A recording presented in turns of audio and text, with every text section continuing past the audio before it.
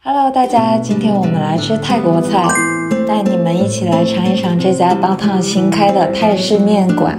其实严格意义上来说，这家店不算是一个新店，它的第一家店开在温哥华的 China Town，已经开了好多年了。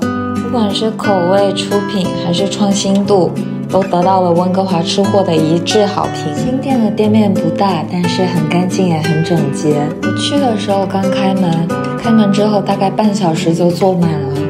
厨房是开放式的，我就坐在边上的吧台这里，可以一边吃饭一边看他们做饭，还蛮有趣的。而且我在偷偷的学习，想着回家是不是也可以自己 DIY。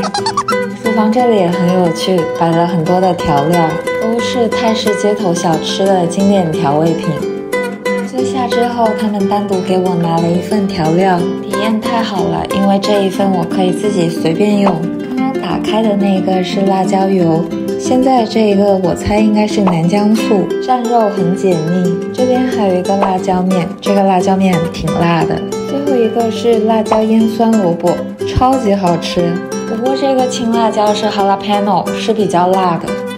我点的第一个菜是 roti canai，就是东南亚那边的薄饼配咖喱蘸酱。我真的是在炉子旁边看着他把我这份薄饼给做出来的，就像小时候站在灶台边上看妈妈做饭一样。不过我更喜欢马来的那种薄饼，就是层次比较多的。这个薄饼感觉还是太单薄了，不过它也是好吃的，只是个人口味的偏好而已。下面的这道皮蛋豆腐真的给了我一些做饭的新灵感。主料没有很特别，就是皮蛋和豆腐。但是辅料它放了一些洋葱酥，放了香菜，放了炸蒜片，而且酱汁是海鲜酱，非常的有东南亚的特色。哦，对了，顶上还有一些木鱼花。主料很普通，很平常，但是味道是惊艳的。这道菜如果让我自己回家再做的话，我可能会把酱汁做的淡一点。然后再加一些潮汕的菜脯丝，想想就觉得很美味。哎，你他娘的还真是个天才！接下来我们大菜上来了，真是激动人心。这是台北非常经典的一道街头小吃，我在菜单上看到它的时候，开心的几乎都要跳起来了。它是番茄肉末米线，不过它在泰国那边只会放猪血和肉末。不会放排骨，非常喜欢他们家做的这个改良，毕竟肉谁不爱吃呢，对吗？这道番茄肉末米线在 China Town 那家店是没有的，所以如果你们来当他这家店吃的话，强烈推荐你们尝一尝。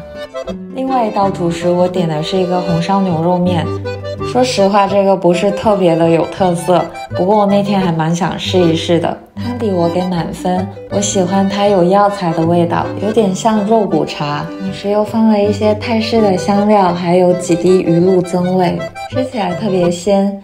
面条可以选你喜欢的细面、宽面、米线或者是牛肉河粉，我选的是宽面，因为这样它能刮住更多的汤汁，然后还加了一颗溏心蛋。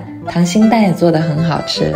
蘸酱这边除了酸萝卜，我还用辣椒面和南姜醋调了一点小蘸汁。蘸牛肉和蘸番茄米线的排骨都很好吃，不过它会有点辣，如果不吃辣的话，就只蘸醋就可以了。啊，味道好极辣！番茄肉末米线我真的好喜欢，吃了一半，决定再给你们拍一拍这个汤。吃起来有肉末带来的香浓，有番茄带来的酸鲜。如果下次再来这道汤面，我还会再点。最后和你们分享一下这家店的 menu，它的前菜基本上都是十来块钱，面条是二十出头，价格不会特别贵。人均的话大概是三十刀，当然如果你吃的少的话，可能二十刀就够了。好啦，那这家店我个人非常非常的喜欢，在这里推荐给你们。今天探店视频就到这里，如果你喜欢我的视频，记得订阅我的频道，给我留言点赞。我们下期探店视频再见啦，拜拜。